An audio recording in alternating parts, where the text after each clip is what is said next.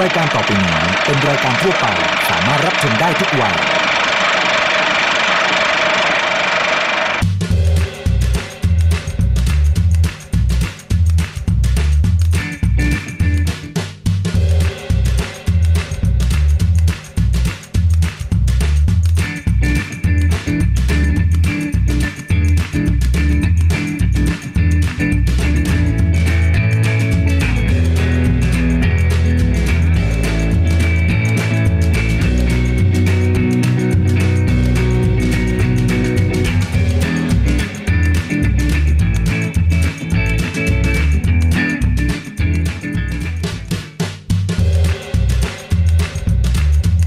นับสนุนโดยผลิตภัณฑ์ผลไม้ฟรุตเบรดและน้ำเชื่อมแต่งกลิ่นตราเนเจอร์เทส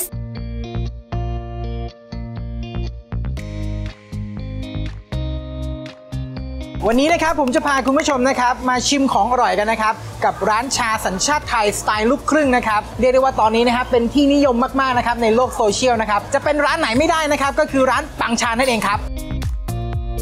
มาที่ร้านปังชานะครับ ไม่สั่งไม่ได้นะฮะก็คืออันนี้เลย เมนูปังชานั่นเองนะครับ อย่างที่คุณผู้ชมเห็นนะฮะ อันนี้จะเป็นขนมปังชิ้นใหญ่ๆนะฮะ แล้วก็จะมีน้ำแข็งใส แล้วเขาก็จะราดด้วยชาไทย เขาบอกว่ากว่าจะได้ชาไทยมาเนี่ยเขาคัดเลือกใบชาถึง 5 ชนิดนะฮะ แล้วก็มาอบจากนั้นนะครับนำมาต้มอีก 5 ชั่วโมงครับ แล้วก็มาอยู่มาเป็นเมนูนี้แหละครับ ก็คือเมนูปังชานะฮะ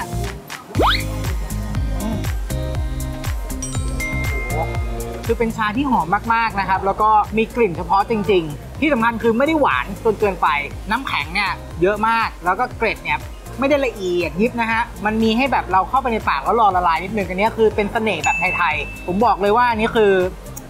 ทีเด็ดเลย อันนี้เป็นเม็ดสาหร่ายฮะ เข้าไปในปากปุ๊บเนี่ยเคี้ยวมันกรุบกรุบแล้วก็มีอัลมอนด์ด้วย ไม่น่าเชื่อเลยว่าอัลมอนด์จะมาอยู่ในน้ำแข็งใสไทยๆแบบนี้ปังชาแบบนี้นะฮะ มันลงตัวจริงๆ เรียกได้ว่าใครนะฮะเป็นแบบคอชาไทยต้องมาที่นี่ครับปังชารสชาติชาของเขาเนี่ยเด็ดขาดจริงๆครับ เมนูต่อมานะครับที่แนะนำเลยนะฮะอันนี้คือโรตีฝรั่งเศสนะครับตัวแป้งของเขานะครับลักษณะเนี่ยคือจะคล้ายๆ กับแป้งครัวฟองเลย ที่เด็ดของเขาเนี่ยแน่นอนว่ามาร้านปังชานะครับต้องเป็นชาไทยเขาก็จะเป็นนมข้นชาไทย ซึ่งชาไทยเหมือนกัน ก็จะเป็นชาไทยแบบ 5 ชนิดนะฮะที่คัดมาอย่างดี อันนี้เนี่ยบอกได้เลยว่าเป็นอะไรที่คุณต้องสั่งอะ คือมันคือมิติใหม่จริง ๆ ใครจะไปคิดว่าแป้งครัวฟองนะฮะหอมเนยมากๆนะครับแล้วอบอุ่นๆร้อนๆนะครับข้างนอกกรอบนิดๆข้างในแบบนุ่มๆอะมากินคู่กับนมข้นหวานชาไทย ซึ่งมันไม่ได้หวานมาก มันเข้ากันดีมากๆฮะอันนี้คืออยากให้ลองจริงเลิศเลอเพอร์เฟกมากๆฮะนอกเหนือจากเมนูขนมหวานนะครับ นี่ฮะมาร้านปังชานะครับ ชาไทยของเขาโด่งดัง ก็ต้องสั่งเมนูนี้ครับและไข่มุกของเขานะครับ นี่ฮะเป็นไข่มุกชาดำนะฮะสีสัน ไม่เป็นไตข้างในเพราะว่าทางร้านเนี่ยเขามีวิธีพิเศษของเขาลองชิมไข่มุกก่อนละกันมาไข่มุกคือนุ่มดีมากนะครับแล้วก็มีกลิ่นแบบน้ำผึ้งจางๆ ไม่ได้แบบทำให้แบบเสียรสชาติชานะ มันส่งเสริมกันขอชาไทยเลยนะฮะ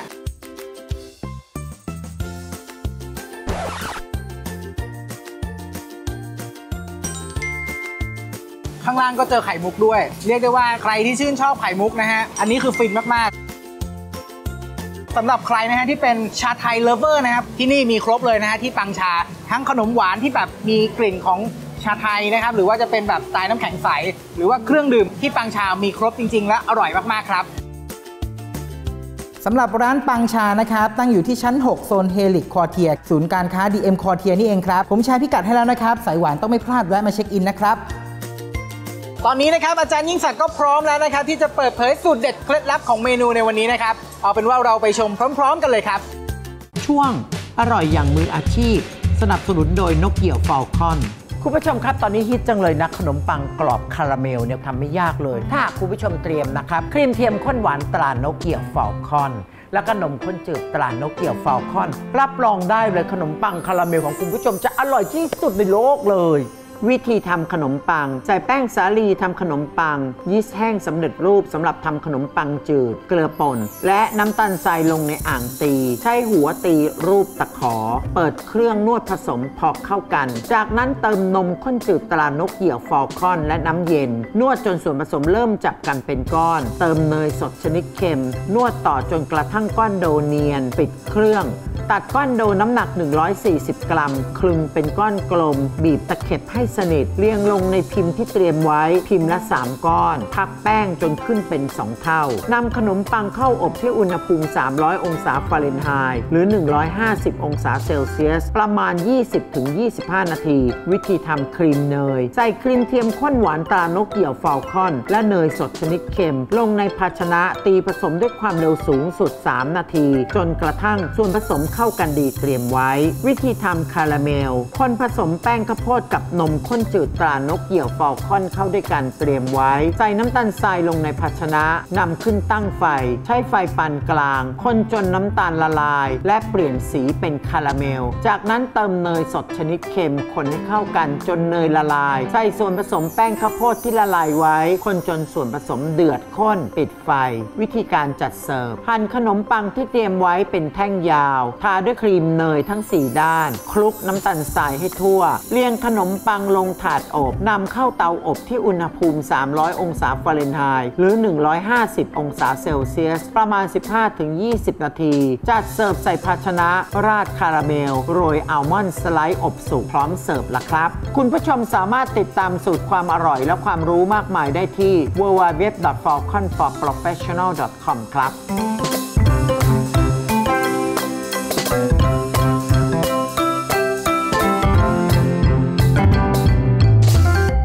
กับ ผลิตภัณฑ์ TFM วันนี้เรามีซาลาเปาซิ่วท้อไส้ทุเรียนกวนมาฝากกันค่ะ วิธีทำเริ่มจากใส่ถั่วเขียวซีกล้อเปลือกนึ่งสุกเนื้อทุเรียนสุกน้ำตาลทราย เกลือป่นกะทิสำเร็จรูป และสีผสมอาหารสีเหลืองไข่ ตั้งไฟ คนตลอดเวลาจนส่วนผสมร่อนจากภาชนะ พักไว้จนเย็น วิธีทำแป้งซาลาเปา ใส่แป้งสาลีชนิดพิเศษราบัวหิมะ ยีสต์แห้งผงฟู เกลือป่นและน้ำตาลทราย ลงในอ่างตี เปิดเครื่องนวดผสมพอเข้ากัน เติมน้ำนวดจนแป้งจับเป็นก้อน ใส่เนยขาวนวดต่อจนก้อนโดเนียนแล้วปิดเครื่อง แบ่งก้อนโดน้ำหนัก 150 กรัม เติมสีผสมอาหารสีเขียวแอปเปิลนวดจนเป็นเนื้อเดียวกัน รีดแป้งออกเป็นแผ่นบาง กดด้วยพิมพ์รูปหัวใจ จากนั้นผ่าออกเป็น2ส่วน เป็นทรงใบไม้เตรียมไว้ แบ่งแป้งโดสีขาวน้ำหนัก 30 กรัม คลึงเป็นก้อนกลม แผ่แป้งโดออกแล้ววางไส้ทุเรียนกวนที่เตรียมไว้หุ้มให้มิดแล้วขึ้นเป็นรูปทรงลูกท้อ ด้วยไข่ขาวติดใบไม้ที่กดไว้ วางลงบนกระดาษรองซาลาเปา พักแป้งจนขึ้นเป็นสองเท่าำซาลาเปาซิ่วท้อไส้ทุเรียนกวนลงนึ่งในน้ำเดือด โดยใช้ไฟแรงประมาณ 8-10 นาที ผสมสีผสมอาหารสีแดงสตรอเบอรี่กับน้ำเข้าด้วยกัน ใช้แปรงจุ่มสีและดีดลงบนลูกท้อให้เป็นสีแดง บริเวณส่วนบนพักไว้จนสีแห้ง แค่นี้ก็เป็นอันเสร็จเรียบร้อยแล้วค่ะ กับเมนูซาลาเปาซิ่วท้อไส้ทุเรียนกวน แค่มีผลิตภัณฑ์ TFM ติดครัว ก็อร่อยกันได้แล้วละค่ะ คุณผู้ชมครับ และช่วงหน้าจะยิ่งศักดิ์ก็เตรียมไว้นะครับ คุณผู้ชมบัวลอยปากหม้อไข่หวานครับ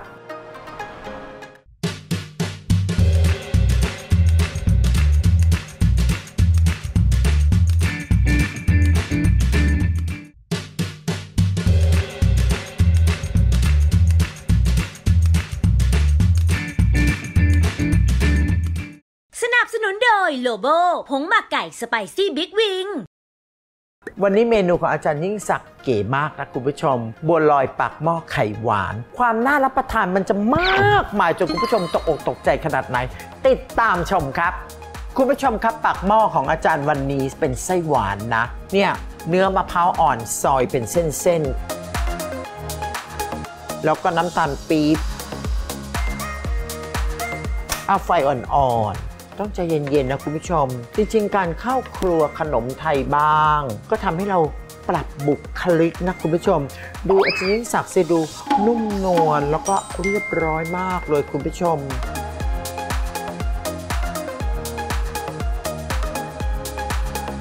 คุณผู้ชมต้องระมัดระวังนะ บางทีเราอาจจะคิดว่ามีน้ำเจิ่งๆอยู่ก็เลยผัดนานจนกระทั่งแห้งงวดเลย เอาแค่ว่ายกพายเสร็จแล้วเนี่ย น้ำตาลเป็นใสๆอย่างเงี้ยนะคุณผู้ชมเราก็ถือว่าใช้ได้แล้วล่ะเอาปิดเตา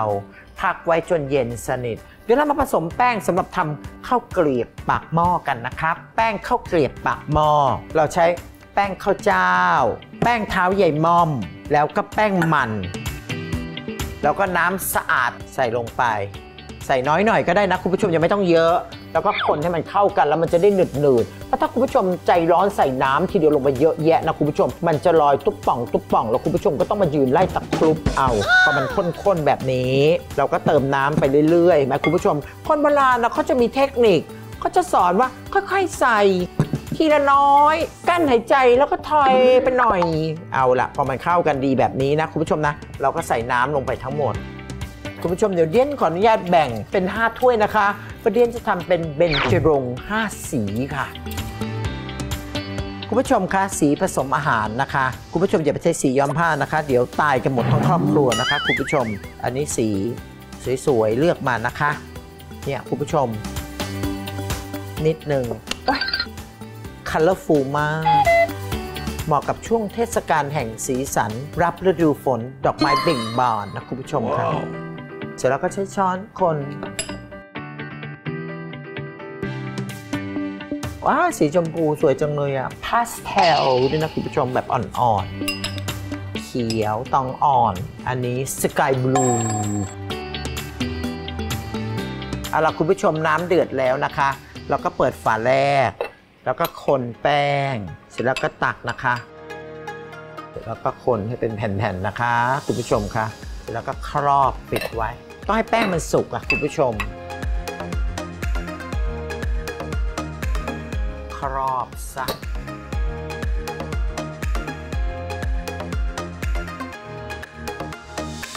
เปิดฝาอันที่หนึ่งที่เราหยอดไปก่อน เอาแป้งสุกตักไส้มะพร้าวที่เราทำไว้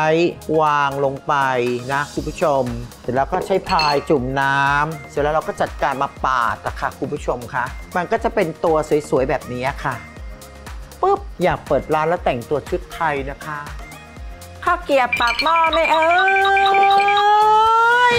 แบบนี้ค่ะคุณผู้ชมเดียนได้ยินตอนเดียนเป็นเด็กอะครับเนี่ยค่ะคุณผู้ชมคะวนไปค่ะวนไปค่ะ มันก็จะลากแป้งเนี่ยนะคะเป็นลิ้วเห็นไหมคะพอไปลิ้วเสร็จเดียนก็ตลบกลับค่ะคุณผู้ชมคะเห็นไหมคะมันก็จะเป็นตัวคล้ายหอยแครงอะค่ะคุณผู้ชมคะทำไปเรื่อยๆคุณผู้ชมค่ะจนกระทั่งครบทุกสีนะ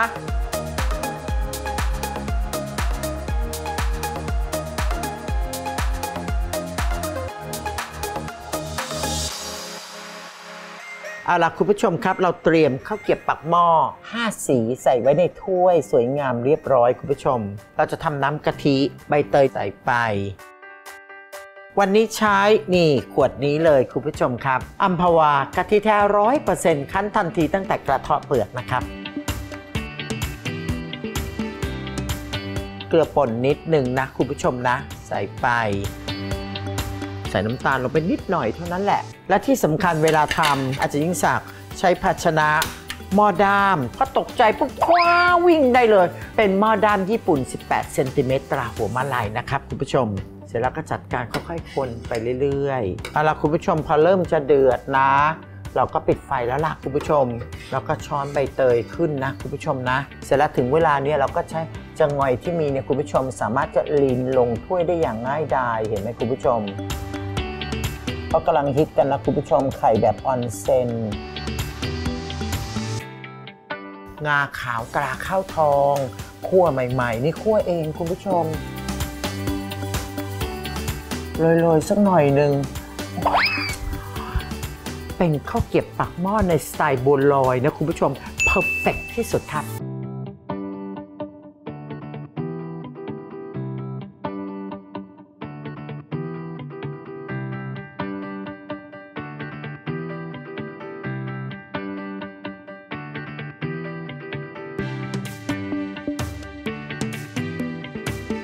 ผู้ชมครับ ช่วงหน้าเมนูของสองแม่ลูกเขามาคู่กันกับเมนูที่น่ากินน่ากินครับคุณผู้ชมติดตามชมนะ เมนูวันนี้นะ เป็น hot milk sponge hot milk sponge คือเมนูเค้ก sponge นมร้อนในตำนานช่วงอร่อยโดนใจ สนับสนุนโดยผงวุ้นสำหรับทำขนมตรานางเงือก วันนี้ขอเสนอเมนูวุ้นแกะ วิธีทำวุ้นแกะ ใส่ผงวุ้นสำหรับทำขนมตรานางเงือกเกลือป่น น้ำตาลทราย และกะทิสำเร็จรูปลงในภาชนะนำขึ้นตั้งไฟ คนตลอดเวลาจนส่วนผสมเดือดทั่วแล้วปิดไฟ แบ่งส่วนผสมออกเป็น 4 ส่วน ผสมสีผสมอาหารที่เตรียมไว้ และอีกหนึ่งส่วนเป็นวุ้นสีขาว หยอดวุ้นสีขาวลงในพิมพ์ซิลิโคนรูปแกะ เฉพาะส่วนใบหน้าแกะรอจนวุ้นเริ่มทรงตัว จากนั้นหยอดวุ้นสีต่างๆ ลงในพิมพ์ เป็นส่วนลำตัวของแกะ และนำเข้าแช่เย็นจนวุ้นทรงตัวดี แกะออกจากพิมพ์แล้วจัดวุ้นแกะใส่ภาชนะพร้อมเสิร์ฟกับเมนูวุ้นแกะค่ะ เมนูโดนใจจากผงวุ้นสำหรับทำขนมตรานางเงือก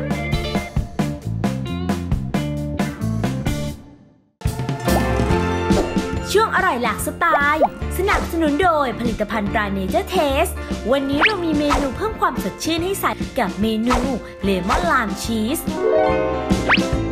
วิธีทำแป้งพาย ผสมแป้งสาลีอเนกประสงค์ ผงฟู และเกลือป่นเข้าด้วยกันเตรียมไว้ ตีเนยสดชนิดเค็มกับน้ำตาลไอซิ่งด้วยความเร็วต่ำ เติมไข่ไก่ และแป้งที่ผสมไว้ ตีจนส่วนผสมจับกันเป็นก้อน แล้วปิดเครื่อง พักแป้งไว้ประมาณ 2 ชั่วโมง รีดแป้งพายออกเป็นแผ่นกรุลงในพิมพ์ที่เตรียมไว้ ใช้ซ่อมจิ้มแป้งพายให้ทั่วนำเข้าอบที่อุณหภูมิ 400 องศาฟาเรนไฮต์จนกระทั่งแป้งพายสุก วิธีทำชีสเลมอนละลายเจลาตินกับน้ำร้อนเข้าด้วยกัน ตีครีมชีสกับเนยสดชนิดเค็มด้วยความเร็วปานกลาง จนกระทั่งขึ้นฟู เติมไข่แดงและเลมอนผสมมะนาว Fruit Based Preparation ตรา Nature Taste ช่วยเพิ่มกลิ่นหอมอ่อนๆของเลมอน และรสชาติอมเปรี้ยวของมะนาว เติมสีผสมอาหารสีเหลืองมะนาว และเจลาตินที่ละลายไว้ ตีส่วนผสมจนเข้ากันดี จากนั้นคนตะล่อมส่วนผสมครีมชีสกับวิปปิ้งครีมตีขึ้นฟู จนเป็นเนื้อเดียวกัน เทส่วนผสมชีสเลมอนลงในแป้งพายที่อบสุกเกลี่ยหน้าให้เรียบนำเข้าแช่เย็นจนส่วนผสมทรงตัวดี เรียงชิ้นเลมอนหั่นเป็นแว่นด้านบน บีบตกแต่งด้วยวิปปิ้งครีมตีขึ้นฟู บริเวณขอบแป้งพายให้สวยงาม ตัดเป็นชิ้น วางใบสะระแหน่พร้อมเสิร์ฟแค่มีผลไม้ fruit base ตราเนเจอร์เทส ไม่ว่าจะรังสรรค์เมนูอะไรก็อร่อยได้กลิ่นและรสชาติคุณภาพเยี่ยมทุกเมนู ผลไม้ฟรุตเบดตราเนเจอร์เทสยังมีให้เลือกหลากหลายรสชาติ สามารถสั่งซื้อออนไลน์ได้แล้ววันนี้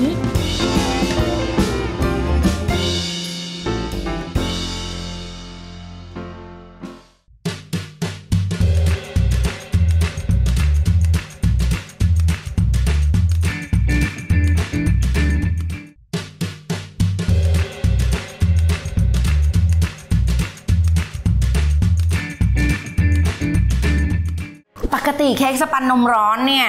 เคยได้ยินมาว่าวิธีการทำไม่ยาก ใช่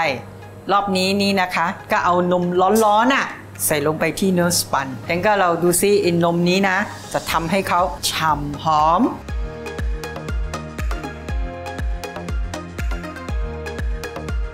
เนื้อสปันปกติเขาก็จะตีไข่กับค่ะน้ำตาลก่อนอยู่แล้วน้ำตาลใช่เนาะใส่ไข่ไก่ลงไป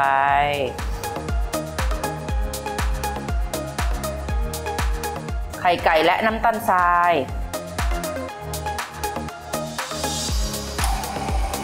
ตีความเร็วสูงสุด 7 นาที ระหว่างที่เรารอไข่ไก่กับน้ำตาลทรายขึ้นฟู เราจะมาทำเคล็ดลับของเราอย่างที่เราบอกใช่เราเป็นสปันนมร้อน นมที่เราสองคนเลือกใช้เนี่ยนะคะ เราใช้นมข้นจืดตรานกเหยี่ยวฟาลคอนค่ะ ผลิตภัณฑ์คุณภาพจากผู้ผลิตเดียวกับโฟโมส ความหวานมันด้วยครีมเทียมข้นหวานตรานกเหยี่ยว Falcon ค่ะ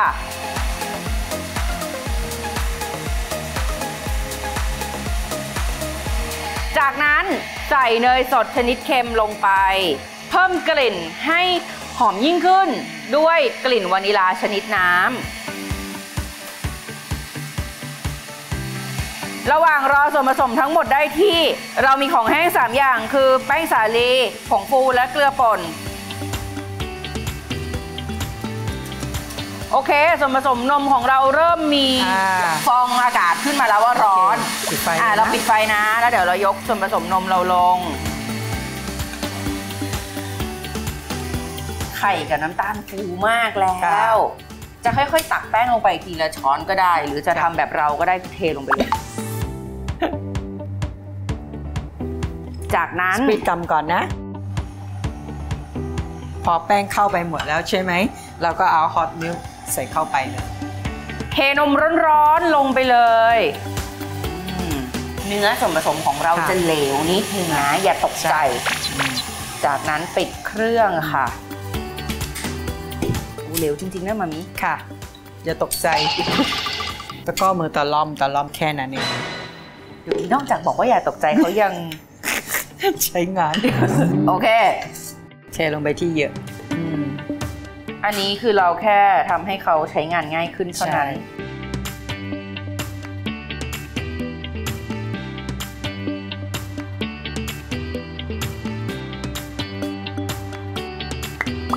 ระหว่างรอเค้กของเราในเตาอบ เรามาทำซอสนมกันก่อน เริ่มจากนี่ครีมเทียมข้นหวานตรานกเหยี่ยว Falcon ค่ะ ใส่ลงไปเลยนะ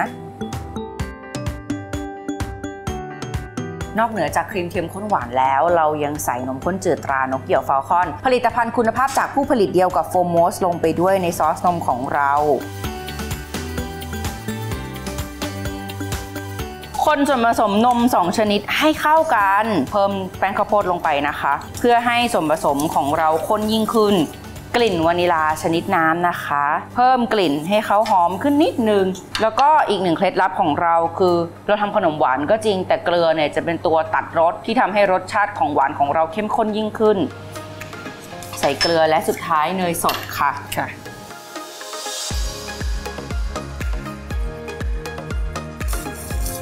ส่วนผสมเดือดแบบนี้ ยกลง ซอสนมของเรา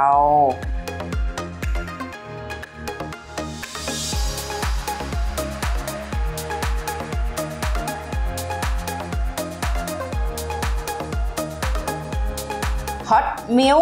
สปันเค้กหรือเค้กสปันนมร้อนเรียบร้อยแล้ว อันนี้เค้กสปันนมร้อนของเราเสิร์ฟคู่กับซอสนม แล้วก็มีผลไม้สด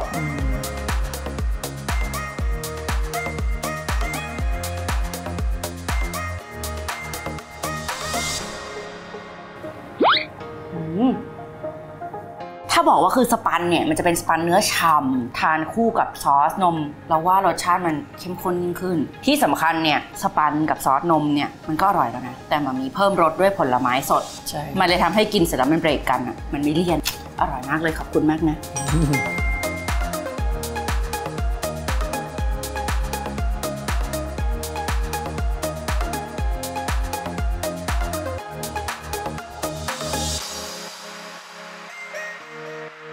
อดเปรี้ยวกินหวานวันนี้หมดเวลาลงแล้วค่ะ พบกับพวกเราทั้งครอบครัวได้ใหม่ทุกวันพฤหัสบดี เวลา 16นาฬิกา30 นาที ทาง Workpoint ช่อง 23 วันนี้สวัสดีค่ะ สวัสดีค่ะนอกจากความทันสมัยแล้วนะครับที่นี่ยังมีความวินเทจ แล้วก็ความหวานละมุน เปียกปูนในวันเก่าๆ อุ้ยวันนี้แปลงโฉมแล้วนะ เปียกปูนทูโทน เค้กวันนี้ของอาจารย์เมย์เป็นชิฟฟ่อนไร้น้ำมัน ชิฟฟ่อนมันม่วง